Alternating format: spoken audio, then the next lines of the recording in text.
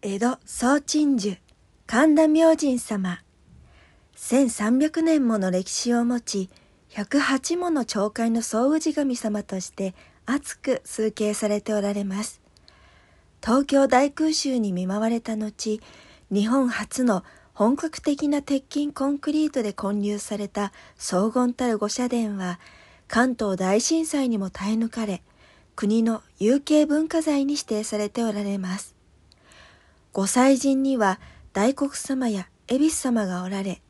縁結びや家内安全、商売繁盛、病気平癒など多くのご神徳があられます。本日はありがたくもご本で神楽殿でのご奉納前の機会を賜りました。それでは行ってまいります。